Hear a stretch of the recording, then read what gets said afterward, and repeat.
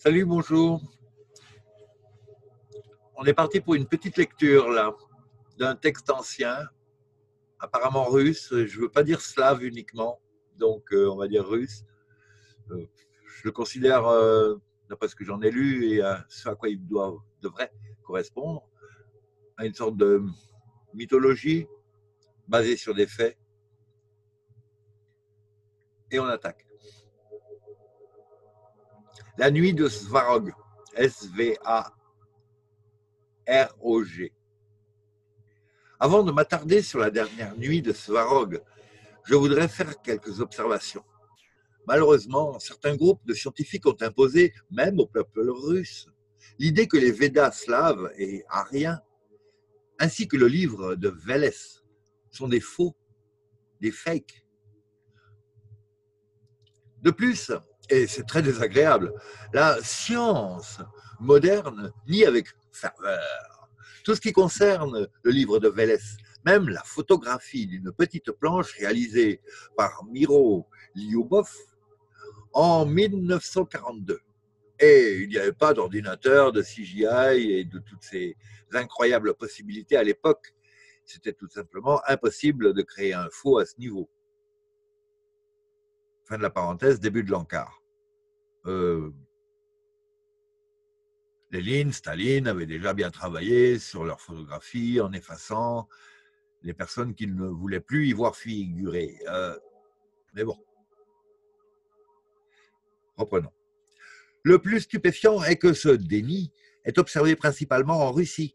De plus, précisément en Russie, beaucoup de scientifiques attaquent le livre de Vélez de la manière la plus agressive. À l'étranger, l'existence de ce document est tout simplement étouffée, voire inconnue. Quelle est la raison de cette dissimulation? La réponse est assez simple. Le livre de Vélez reflète le passé des Slaves depuis plus de 20 000 ans. Un, un Volkkeeper on fit le dernier record, euh, c'est-à-dire le dernier enregistrement. En 6496 selon la chronologie slavo-arienne ou à la fin du Xe siècle, 988 après Jésus-Christ. À cette époque, l'obstruction d'une nouvelle religion qui, au XIIe siècle, est devenue le christianisme, a commencé avec une cruauté incroyable à Kievenros qui s'est révélée de manière inattendue être la province la plus occidentale de l'empire slavo-arien après la révolte et la séparation de, des autres provinces de l'Ouest. Les derniers enregistrements du livre de Vélez coïncident avec l'époque du baptême violent du Kievenros. Chaque connu pays où les loups-garous de Vladimir le Saint qui a baptisé Kievan Rus ont pu tendre la main. Tous les adultes et les adolescents qui ont renoncé à accepter une religion étrangère et opposée à l'esprit russe étaient physiquement détruits, massacrés. Et les prêtres de cette religion ont martelé dans la tête des enfants effrayés de 7 à 8 ans les concepts de l'esclavage spirituel et physique. Cela révèle, cela se révèle être une coïncidence assez intéressante si elle peut être qualifiée de coïncidence, que cela plaise ou non à certains scientifiques dans leur domaine. Les derniers enregistrements du livre de Vélez et le baptême du Kieven Rus tombent en même temps, la fin du Xe siècle, selon la chronologie contemporaine. Selon les conceptions slavo-ariennes ou védiques, c'était à l'époque du début de la dernière et de la plus dure nuit de Svarog, qui enveloppait Midgard Earth avec son voile sombre et sanglant pour sept cercles de vie. 1008 ans, de 6496 ou 988 après Jésus-Christ à 7504 ou 1995 1996 après Jésus-Christ. En quart, Midgard Earth, c'est le nom de la Terre. En fait, ce qu'on appelle euh, une Terre, normalement, c'est une planète qui est habitée. Et la nôtre s'appelle Midgard. Je subodore qu'elle est donc hantée par Gaïa. Mais que, sont ces jours et nuits de Svarog? Avant de l'expliquer, je voudrais raconter quelques moments que j'ai vécus à la recherche des événements du passé. Quand j'ai trouvé les informations sur le livre de Vélez, j'ai su avec une grande surprise qu'Uri Petrovitch Miroliobov, 1892-1970, qui a fait cette célèbre photo d'une petite planche de Belgique en Belgique en 1942 et copié les autres planches, a vécu et travaillé à San Francisco. Je suis allé au musée russe de San Francisco, mais il n'y avait pas de UP Mirobiliobov et ses archives. Il n'était accessible, pardon, que dans les archives de la Hoover Institution, où mon avis et moi-même sommes allés. Là, j'ai réussi à trouver le matériel nécessaire. Pendant que j'attendais des microfilms, des fichiers de mi au Lyubov, un étudiant américain m'a demandé si je faisais vraiment confiance aux informations concernant le livre de Vélez. J'ai été surpris et même révolté par cette question. La photographie de la véritable petite planche réalisée en 1942 ne suffit pas à prouver l'authenticité du livre de Vélez, alors que l'absence de toute preuve de l'authenticité de la version contemporaine de l'histoire ne dérange presque personne tous les livres anciens sur lesquels se fonde l'histoire contemporaine sont des livres imprimés au XVe siècle.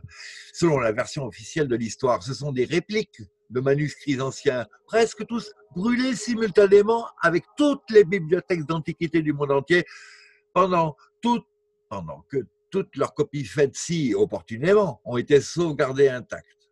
Ah. Il s'avère que pour une raison quelconque, personne ne doute de cette contrefaçon mais la photographie authentique de 1942 est remise en question.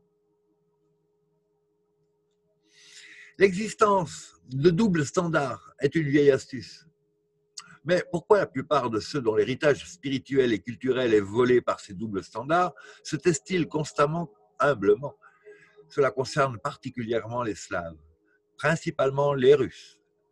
Après tout, nous avons été hypnotisés par la fausse identité par la fausse idée pardon, de la primitivité russe pendant si longtemps. Les étrangers nous ont appris à parler notre langue maternelle, qu'ils ont améliorée en jetant des lettres inutiles de l'alphabet russe, en changeant la prononciation et l'écriture des mots russes, et en remplaçant le vrai sens des mots par un sens qui leur convenait, etc nous pouvons continuer à émunérer assez longtemps. Cependant, la chose la plus effrayante est que la plupart des gens ne le remarquent même pas et l'acceptent comme quelque chose de tout à fait naturel. Mais est-ce vraiment le cas? C'est une insulte et un désir d'humilier qui sont ancrés au nom même du peuple. C'est tellement habituel pour tout le monde, y compris moi, que cette insulte directe passe inaperçue. Prenons par exemple le mot russe. Quelqu'un peut demander, mais qu'est-ce qu'il y a de si insultant d'appeler les Russes russes? Ne nous précipitons pas avec des conclusions sur la paranoïa ou quelque chose de similaire, mais méditons un peu. Comme ma femme, Svetlana, l'a fait et a attiré mon attention dessus sur le mot russe. Au début, je ne comprenais pas où était le i. Mais après qu'elle ait prononcé quelques mots, tout est devenu clair pour moi. Encart. Svetlana est le nom de la femme de Nikolai Levachov, dont nous lisons le texte. Fin de l'encart. Euh, réouverture de l'encart. Svetlana euh, mérite absolument toute notre considération et notre respect, vu en termes vulgaires, je vais dire, la pointure que c'était. Qu'elle m'en excuse. Reprenons. Dans la langue russe, lorsqu'on mentionne d'autres personnes, il est dit par exemple une personne est un anglais et sa langue est l'anglais, ou une personne est un français et sa langue est le français, etc. Et en posant la question qui, la réponse est toujours un nom.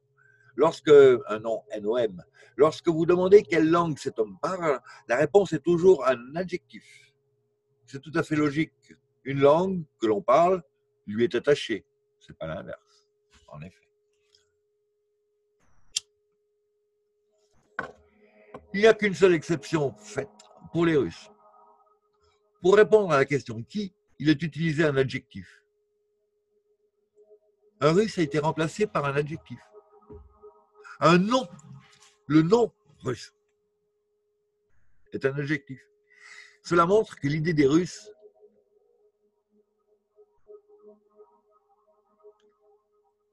Cela montre l'idée des Russes comme une sorte d'attachement au reste du peuple. L'idée que notre primitivité, notre inutilité, une insignifiance qui aurait été inculquée au, même, au niveau même linguistique, c'est-à-dire au niveau de la subconscience. La guerre se déroule depuis des milliers d'années sur tous les fronts, y compris psychologique, linguistique et génétique. Les mots corrects réveillent la mémoire génétique. Les mots faux ou déformés font dormir cette mémoire pour toujours. En cas, ils entretiennent en tout cas le coma. Qui est intéressé à déformer l'auto-nom d'un peuple, le nom auto-édicté par un peuple Et pourquoi? Nous devons juste y réfléchir un peu et la réponse viendra immédiatement. Nous sommes des Ruses, pas des Russes. La bonne réponse est la question qui est une personne, une ruse? C'est-à-dire euh, en quart. Il écrit R-U-S. Je prononce euh, ruse quand il a écrit ruse. C'est une traduction euh, peu fiable.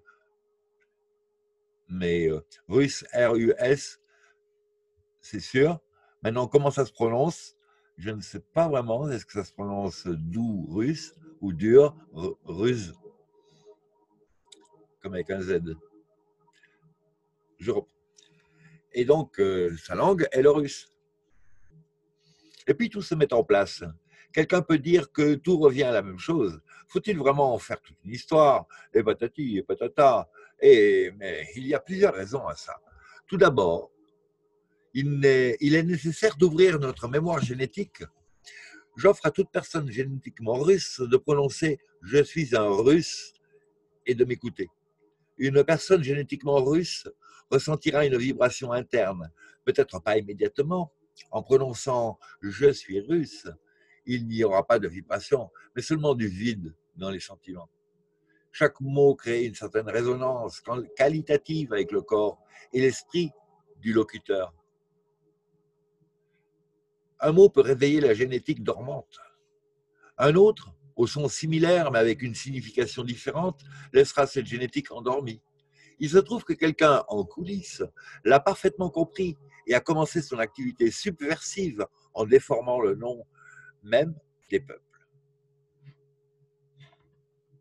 Même dans cette variante déformée de l'histoire qui a été martelée dans nos têtes depuis notre enfance, le russe Kievan était appelé russe comme c'était le cas avec euh, le russe moscovite. Le pays des Russes s'appelait Ruse, peu importe quel genre de Ruse c'était. Ce n'est que lorsque la dynastie pré-occidentale des Romanov est arrivée au pouvoir que le nom de Ruse a été changé en Russie. Cependant, cela ne s'est pas produit tout de suite, seulement lorsque Pierre le Grand est arrivé au pouvoir. Mais pourquoi les pays d'Europe occidentale et ceux derrière leur dos étaient-ils si sidéreux de changer le nom même du peuple et du pays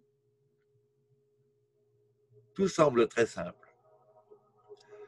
Tout récemment, presque tous les pays européens, et pas seulement européens, étaient des provinces périphériques de l'empire védique slavo-arien gouverné par les dynasties des Russes. À partir du milieu du 5e siècle, des révolutions organisées par les forces des ténèbres se sont produites dans ces provinces. Et une nouvelle élite est arrivée au pouvoir. Toute mention du parent du tsar des Russes leur rappelait l'illégalité de leur pouvoir. Ils ne comprenaient même pas qu'ils n'étaient que des marionnettes entre les mains de ceux qui étaient derrière eux.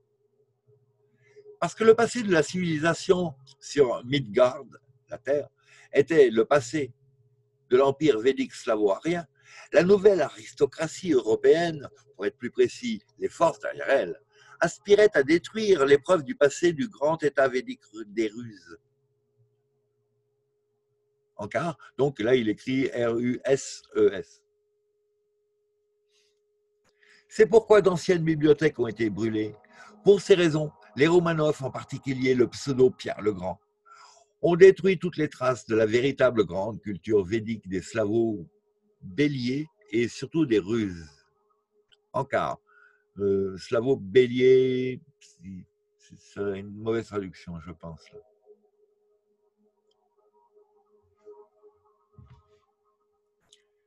Ben, est-ce qu'il faut mettre Ram à la place ou je ne sais pas.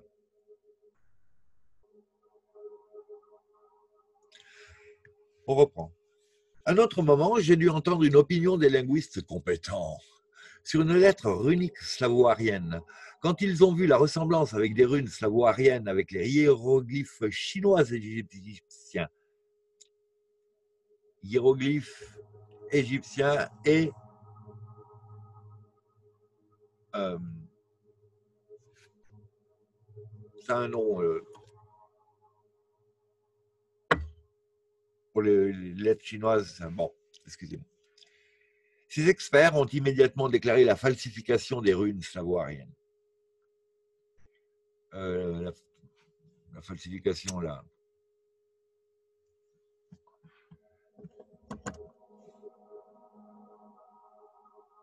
La non-vérité. Parce que c'est les arrangé. La similitude de ces déductions est pour le moins très étrange. La similitude des runes slavo-ariennes ne signifie pas nécessairement leur fausseté. On peut également affirmer que les hiéroglyphes chinois et égyptiens sont des runes slavo-ariennes altérées et déformées. Cependant, cette version n'est même pas envisagée.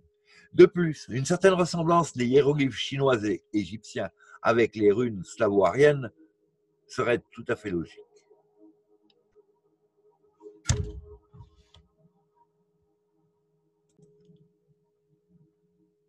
Alors, le hiéroglyphe chinois, je traduirais ça plutôt par un idéogramme. Mais bon, un hiéroglyphe aussi, c'est un idéogramme. Sauf qu'il est égyptien. Mais bon, en découpant hiéro et glyphe, on doit pouvoir attribuer ce nom-là tous les langages du monde. Fatalement, ils ont euh, cet aspect. Bien, on reprend. Logiquement, comme preuve de la préséance de ce dernier. Ah, voilà, c'est encore la bagarre pour savoir qui était avant. Mais là, c'est un peu intéressant parce que ça explique pourquoi on en est là aujourd'hui. Les runes slavo-ariennes ou les runes slaves et ariennes contiennent plutôt plusieurs niveaux d'information. Chaque niveau peut être ouvert selon l'ordre des runes. Par conséquent, lors de la traduction de la langue parlée, le sens d'un texte change en fonction de la position d'une rune dans un manuscrit. Bien sûr. Pour cette raison, il est tout simplement impossible de retirer les hiéroglyphes chinois et égyptiens,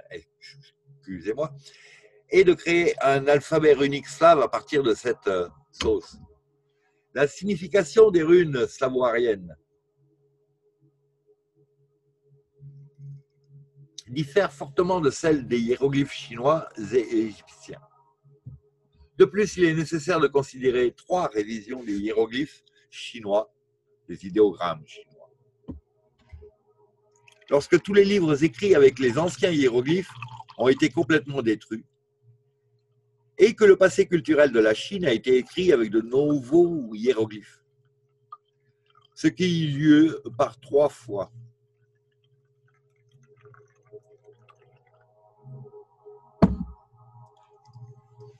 Oui, euh, encore, vous en faites pas. Euh, euh, les gars, ils s'attribuent tout le passé à leur nom. Ils ne l'effacent pas. Ils l'attribuent à leur. Sinon, ils perdent du crédit, évidemment. Tout le monde adore dire nous étions là avant. Ce qui est ridicule. quand la planète bascule,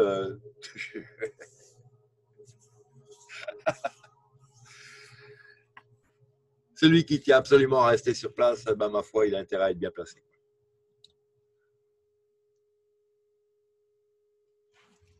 Les questions suivantes se posent à cet égard. Qui a effacé le passé de la Chine et pourquoi? Pourquoi était-il nécessaire de détruire les vieux livres? Que contenait-il pour faire cela par trois fois, s'éloignant de plus en plus de la forme principale des hiéroglyphes? Principalement, les principaux hiéroglyphes chinois étaient des runes savoariennes. Peut-être que ces runes étaient la base des idéogrammes chinois. C'est pourquoi, même après que les hiéroglyphes chinois ont été modifiés trois fois, ils ressemblent toujours aux runes slavo-ariennes. Le fait que les vieux livres aient été complètement détruits trois fois et que tout ait été réécrit et expurgé en utilisant des hiéroglyphes modifiés ne fait que confirmer la préséance, c'est-à-dire le fait d'être avant, d'être là avant l'autre. Des runes, donc de confirmer la pardon, préséance des runes savoiriennes et la nature secondaire des hiéroglyphes chinois. Un cas similaire est celui des hiéroglyphes égyptiens. Cela sera examiné dans mon prochain livre, nous dit Nikolai Levatchov. Quelques-uns de ces livres sont traduits en, anglais en tout cas, peut-être en français aussi. Vous savez qu'il est venu euh, se réfugier à Fontainebleau avec sa femme et qu'ils s'y sont fait assassiner l'un après l'autre pas la même soirée, mais euh, sûrement par les mêmes euh, entités. C'est-à-dire que les entités n'étaient pas forcément françaises, mais je pense que les entités françaises n'ont pas beaucoup réagi pour le protéger. Quoi. Ce mec-là arrivait à faire pousser des fleurs tropicales dans son jardin de Fontainebleau sous la neige. Il faisait des fraises qui avaient la taille de, je sais pas, en exagérant, vous en prenez deux et vous avez la taille de ma tête peut-être que vous en prenez quatre, mais bon, quatre fraises et la, la taille de ma tronche. Une fraise. Une tiens dans la main, tiens dans la main. Sans pyramide, autre chose. Parce qu'aussi avec les pyramides et d'autres trucs, la permaculture, l'électroculture, on arrive à des super résultats. Mais là, non.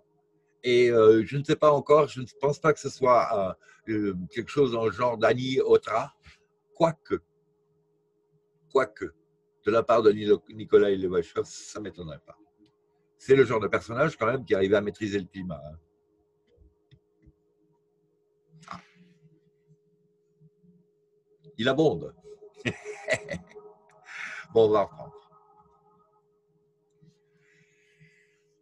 J'ai un petit peu parlé de Nicolas Levachov sur ma chaîne. Euh.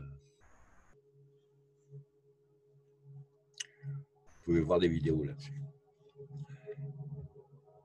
Je conseillerais à ceux qui sont pressés de m'accuser d'arguments farfelus pour étudier, et forvelus, pour étudier l'histoire de la Chine ancienne.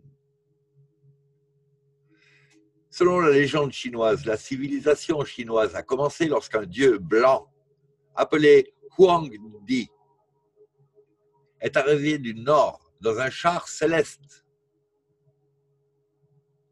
Un, un Weitman ou un Vimana, peut-être. Il leur a tout appris, de la culture du riz à la construction des barrages fluviaux en passant par une écriture hiéroglyphique. Cela montre que les hiéroglyphes chinois n'ont pas été inventés par les Chinois, mais leur ont été donnés par un homme blanc de civilisation très développée, se trouvant au nord de la Chine ancienne. Il y a quelques explications ci-dessous. Huang est un nom ancien, arien, qui est encore assez répandu dans les pays hispanophones, sous la forme de Juan. Di est le nom de tribu de la race blanche qui vivait au nord de la Chine ancienne. Les tribus de Di, les Dinlin, étaient bien connues des habitants de la Chine ancienne. Ils ont éprouvé des difficultés à prononcer le mot Dinlin et ont accepté sa forme brève dit. Encore, avec un petit peu de chance, on parle de là de l'hyperborée. Enfin, sur, le chemin de l'hyperborée, on va dire.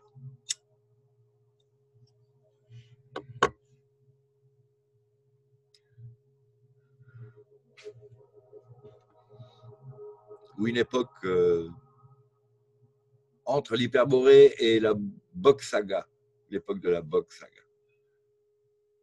La famille Bok, ben, c'était un, un royaume mondial. Il y avait 15 royaumes, il y avait 15 rois qui se connaissaient. 15 ou 10, je ne sais plus. On va y revenir, un de ces gens. Je reprends. Donc la forme brève dit. Il y a beaucoup de documents sur les tribus de Di dans les anciennes chroniques chinoises. Les Chinois ont fait de gros efforts pour se débarrasser des Di, pour les éloigner de leurs terres, probablement aussi des propres terres des Di. Les leur prendre. Dès le troisième millénaire avant les tribus de Di, étaient inscrites dans les chroniques chinoises en tant qu'habitants indigènes du pays. Sur une période de 3000 ans, certains Dinlin ont été exterminés par les Chinois. Certains se sont enfuis et d'autres se sont mélangés aux Chinois.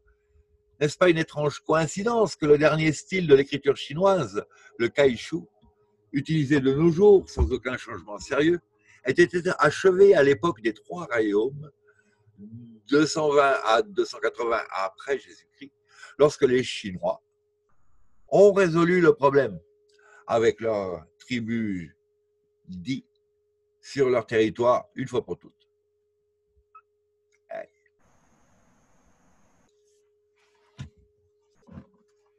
Cela ressemble à la manifestation de la gratitude la plus profonde envers les personnes qui leur ont apporté la lumière, la connaissance et la culture.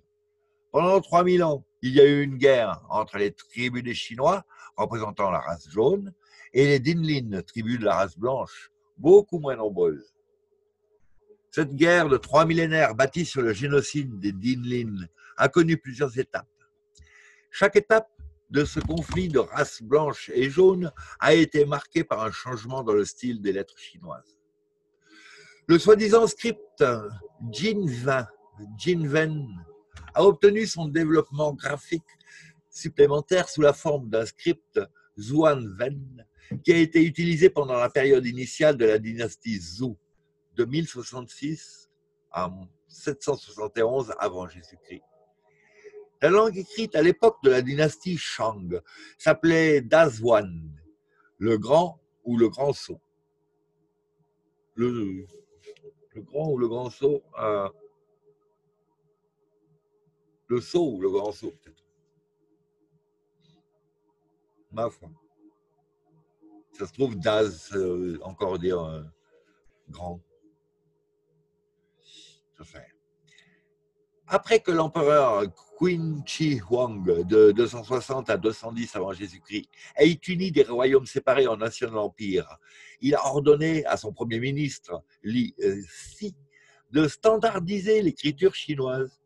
Le nouveau script, la nouvelle manière d'écrire, s'appelait le Xiao Zhuang, le Xiao Chuan le petit script du sceau des lycées.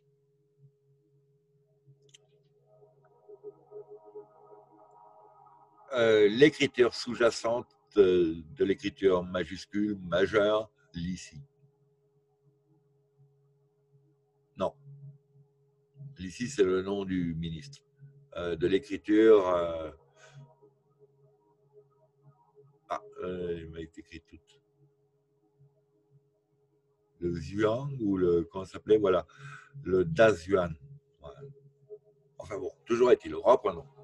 La destruction des livres écrits dans le vieux style et la réécriture de tout dans le nouveau style ont accompagné chaque modernisation.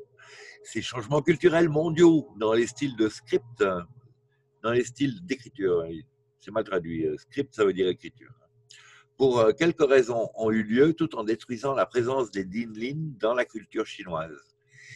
Il donne le droit de supposer qu'au départ, les tribus des Dinlin formaient les castes dirigeantes dans la Chine ancienne, comme c'était le cas dans la Dravidia, l'Inde ancienne. Il y avait une guerre civile entre les différentes castes qui étaient formées par les représentants des différentes races, blanches et jaunes, de la société de la Chine ancienne. Qui ne peut pas s'appeler Chine non plus d'ailleurs, je suppose. Hum. Les castes de la race jaune ont excité la rébellion ont stimulé la rébellion contre la caste dirigeante de la race blanche. Tout ce que les Blancs ont enseigné aux tribus de la race jaune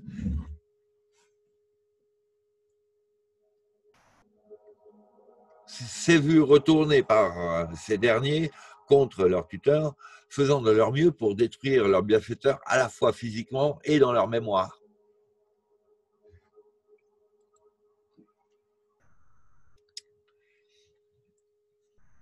Une sorte de gratitude assez intéressante, à mon avis. Il y aura plus de détails sur ces événements et les précédents dans mon livre L'histoire russe vue à travers des miroirs déformés, qui existe en PDF en anglais, téléchargeable. Il me semble que j'ai pu le télécharger. Je ne l'ai pas encore lu. Une autre preuve irréfutable de la présence des runes slaves et ariennes est apparue tout récemment. Il y a une fondation de pierre au sens figural, pardon, littéral et figuré. Il est gravé dans la pierre, je pense. En juillet 1999, A.N. Souvirov, professeur de l'université de l'État de Baskirsky, a trouvé une plaque de pierre dans la partie russe de l'Oural près du village de Chanda. Cette plaque s'est avérée être une carte relief d'une civilisation extrêmement, hautement développée, considérablement plus élevée que la nôtre. Il y avait des signes écrits dessus sous la forme de lettres hiéroglyphiques syllabiques d'origines inconnues. Il y avait beaucoup d'inscriptions. Au début, c'était considéré comme une vieille langue chinoise. Cependant, après, le professeur A.N. Chouvirov a étudié quelques livres rares de la bibliothèque de l'empereur pékinois et a trouvé quelques collègues de l'université du Hunan et la version de la trace chinoise a été enterrée pour de bon. L'examen de la plaque par des scientifiques chinois a également montré que la porcelaine qui faisait partie de la plaque n'a jamais été utilisée en Chine. Toutes les tentatives de décodage des inscriptions sur la plaque se sont avérées infructueuses. Donc probablement de l'avis des grands linguistes et autres experts.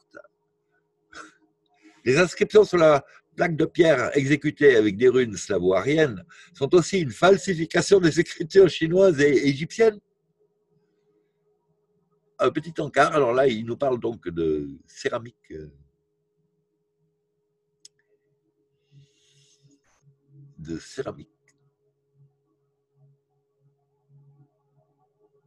ou de porcelaine.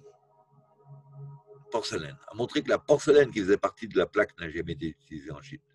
Bon, euh, je mets en garde parce que la traduction n'est pas forcément fiable. Donc, euh, ce serait bien qu'on ait une photo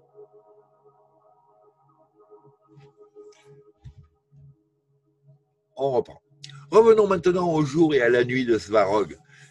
Ces mots sont mentionnés, ben, encore, il serait temps, hein.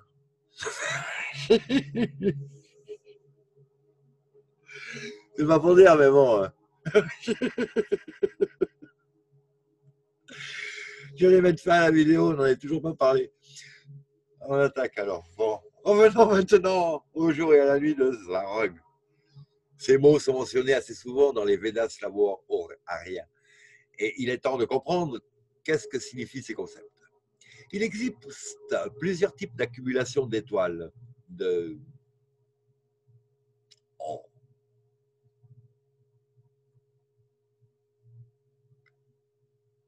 telles que les galaxies spirales et sphériques, les nébuleuses étoiles, etc.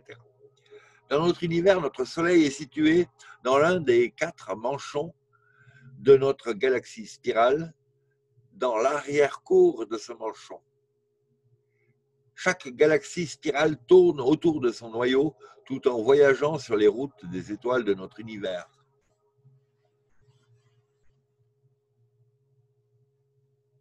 le long des courants de Birkland, si vous voulez mon avis.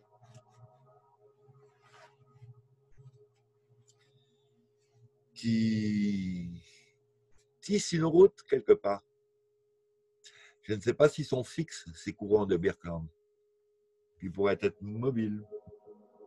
Mais ils sont en général au moins deux.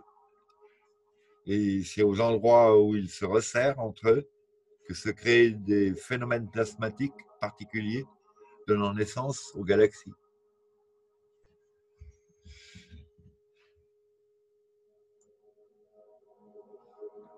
qu'on retrouve donc alignés comme des perles sur un collier le long des courants de Birkeland, qui sont des courants électriques. électriques. On est dans un univers électrique, électromagnétique, plasmatique. Un peu tout ça à la fois. On reprend. La nuit de Varog. Cette matière principale forme notre univers. La matière dite physiquement solide, que tout le monde a l'habitude de voir comme des galaxies, des nébuleuses, des étoiles, des planètes, etc., est apparue à la suite de la fusion de ces matières primaires dans les domaines de l'espace où les termes nécessaires à cette fusion ont été observés. Les termes nécessaires à cette fusion, les conditions nécessaires à cette fusion. Comme l'ont prouvé les scientifiques, la matière physiquement solide ne représente que 10% de la matière entière de l'univers visible et le reste, 90%, est appelé matière noire. En quart, en quart. Il y a des nouvelles données là et euh, ils la voient maintenant, la matière qu'ils ne voyaient pas. Ils la voient. Elle était cachée, elle était empoussiérée, on va dire. Mais ils la voient. Et de toute façon, on n'est pas dans un univers gravitationnel, on est dans un univers électrique et les forces électromagnétiques sont 10 puissance, je sais pas, entre 30 et 45 fois la puissance gravitationnelle. Donc, euh, on va commencer à être un petit peu sérieux là, s'il vous plaît. Là. Ça, c'est même, comment dire, l'homme a plus d'importance euh, dans, le, dans la pollution climatique. La pollution climatique. Oui, oui, je fais exprès. On pollue, mais climat, on n'a aucun rapport.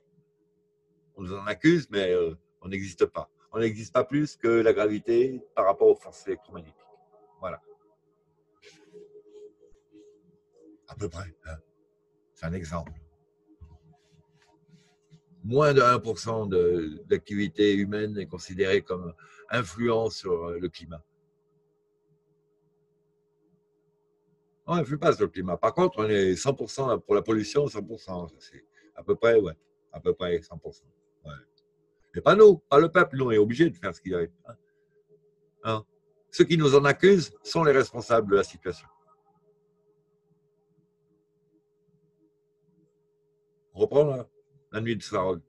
Non, parce que c'est bientôt la fin de ceux qui nous en accusent et tout ça.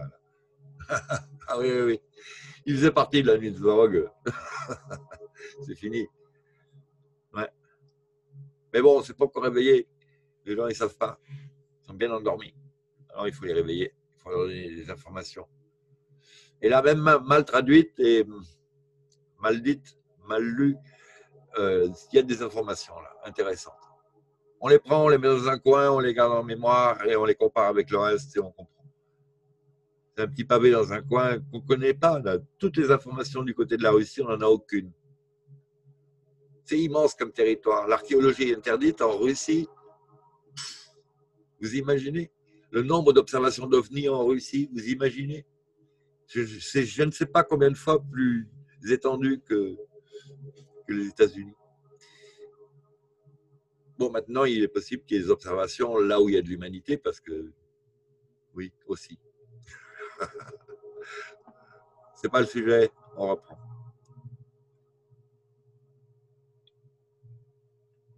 Et donc, le reste, 90%, est appelé matière noire. Il n'y a pas de matière noire, pas d'énergie noire. Cependant, il ne précise pas ce qu'est la matière noire, qui ne peut être enregistrée par aucun outil scientifique moderne connu nous leur pardonnerons ce malentendu insignifiant et passons aux choses sérieuses. Les matières primaires libres, qui constituent ces 90% de la matière de l'univers, remplissent l'espace de notre univers, étant en mouvement permanent, presque sans influence les unes sur les autres. Dans la matière physiquement solide de l'univers, ils sont répartis dans la proportion exacte des uns avec les autres, ou elles sont réparties des unes avec les autres. Cependant, en se déplaçant librement dans le reste de l'espace, une corrélation proportionnelle dure entre elles qui n'est pas créée. Une corrélation proportionnelle dure entre elles n'est pas créée. Pardon. Donc ils restent libres les uns des autres. Bien que les sept matières principales soient présentes dans n'importe quel point de l'univers, la corrélation proportionnelle entre elles change dans de très larges limites. En d'autres termes, les matières primaires gratuites, libres, on va dire, libres, pas gratuites, sont distribuées dans l'univers de matières extrêmement non uniformes, anisotropiques. L'univers est anisotrope dans la distribution des matières primaires. En conséquence, la quantité de matières primaires libres est différente dans les différentes zones de l'espace de notre univers il est d'importance fondamentale de savoir de quel type de matière primaire libre règne dans une zone donnée de l'espace de l'univers. Une présence excessive d'une matière primaire première, libre dans une zone de l'espace de l'univers, peut fortement influencer la vie des étoiles, les activités tectoniques et autres des planètes et le développement évolutif des créatures vivantes. Je vais le répéter ça parce que c'est ce qui nous arrive en ce moment. Scientifiquement prouvé, analysé euh, plusieurs fois par jour bientôt euh, par euh, Suspicious Observer sur YouTube. L'héliosphère est en train de se confronter à un nuage de poussière plus concentré que d'habitude. Ces poussières qui en fait forment une partie de la matière noire. Une partie, puisqu'il découvre encore des galaxies qu'il ne voyait pas avant, mais qui étaient là. Il ne les voyait pas avant, il les voit maintenant grâce à un nouveau satellite euh, WISE, W-I-S-E, me semble-t-il.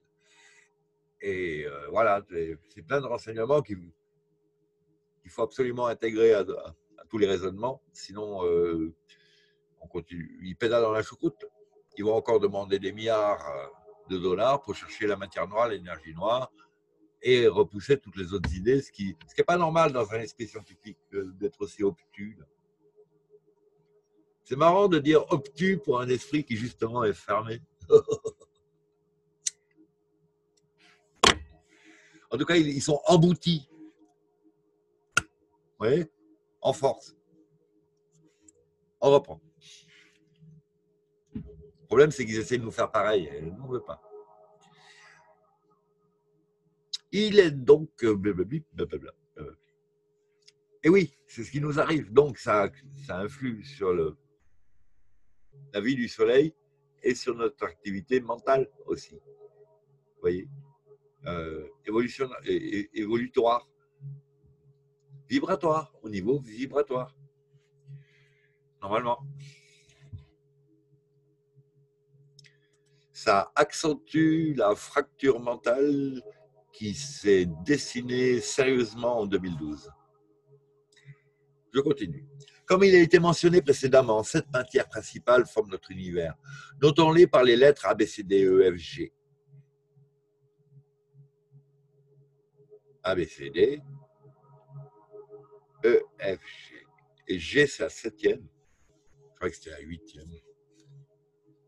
C'est fou, un grand nombre de facteurs dépendants du type de matière primaire, libre, qui prévaut excessivement dans la zone d'espace donnée de l'univers, y compris le comportement des gens et la manifestation de certaines émotions et qualités.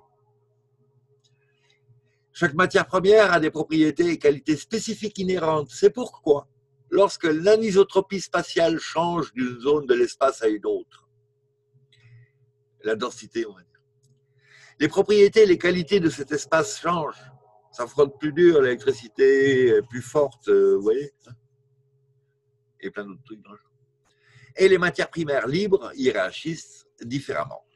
Lorsque les propriétés et les qualités d'une certaine zone d'espace changent, la perméabilité de cette zone pour une matière primaire libre particulière change également. En conséquence, cette matière première se tient dans cette zone de l'espace au cours du temps, une accumulation de cette matière primaire se produit Ce qui provoque un changement de corrélation des matières primaires libres dans cette zone de l'espace de l'univers. Ainsi, l'excès d'une certaine matière primaire libre apparaît dans certaines zones de l'espace de l'univers. Qu'est-ce qui se répète? Ils sont précis.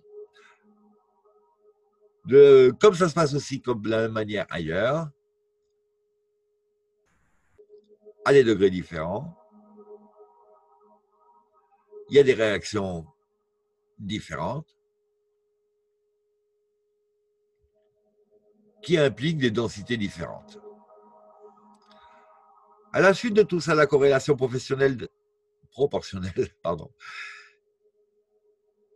des matières primaires changent dans tous les domaines de l'hétérogénéité de l'univers. Ainsi, une matière principale l'emportera sur les autres matières dans le domaine donné de l'hétérogénéité. C'est-à-dire que, comment dire, euh, la densité d'une des matières va l'emporter sur l'autre.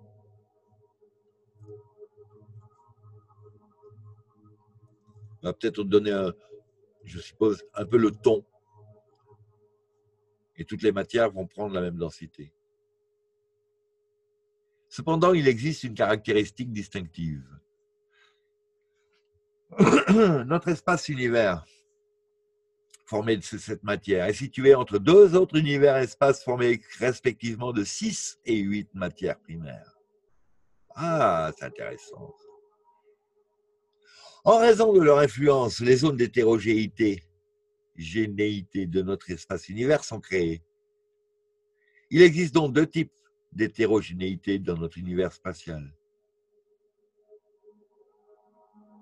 Celui qui est influencé par l'univers d'à côté qui a les huit matières principales et celui qui est influencé par celui d'à côté qui a les six matières principales.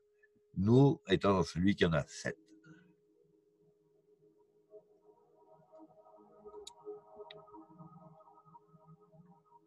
L'influence des zones d'hétérogénéité sur les autres matières primaires de notre univers spatial, A, B, C, D, E, F, et pourquoi pas G, est d'autant plus forte qu'une matière primaire est donnée, il se rapproche d'une matière G primaire ou d'une matière E. Ah, A, B, C, D, F. Oui, d'accord, j'ai dit le E, il ne fallait pas. Donc, il manquait le G et le E. Donc, nous, on est dans le F d'après ce qu'il m'explique. Ce point est très important pour comprendre le phénomène des jours et des nuits de Svarog. Le fait est que la prédominance de la matière première G ou de la première, matière première E dans les domaines de l'hétérogénéité a une influence considérable sur le développement évolutif d'un individu et d'une civilisation. En quart, je vais tenter d'être explicatif, donc, si on est plus proche d'un côté ou de l'autre, on sera influencé aussi d'un côté ou de l'autre. À nous rapprocher de l'état 8 ou de l'état 6, en fait. Le premier qui me dit, euh, il est ta sœur, qui sort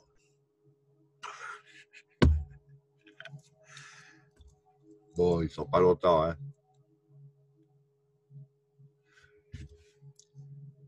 Lorsque la matière première E, on va dire, donc c'est la.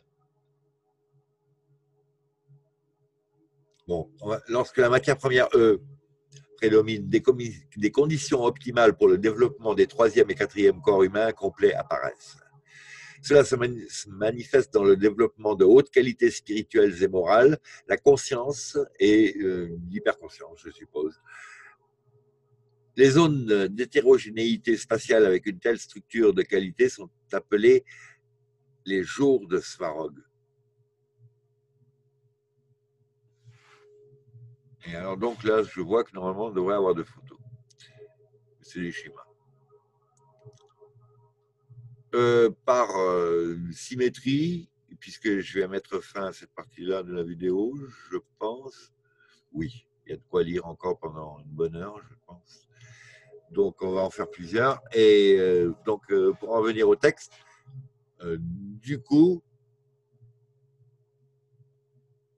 lorsque la matière primaire G prédomine,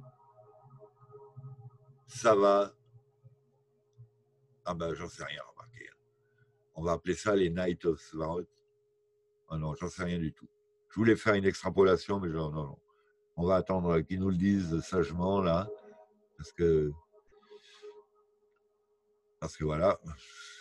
Je n'ai pas l'impression que ça corresponde à la vérité, ce que je suis en train d'élaborer. Bon. Je vous remercie d'avoir suivi. C'est un, peu abscon et obscur pour l'instant, hein, mais c'est une introduction, on va dire. À bientôt. Salut.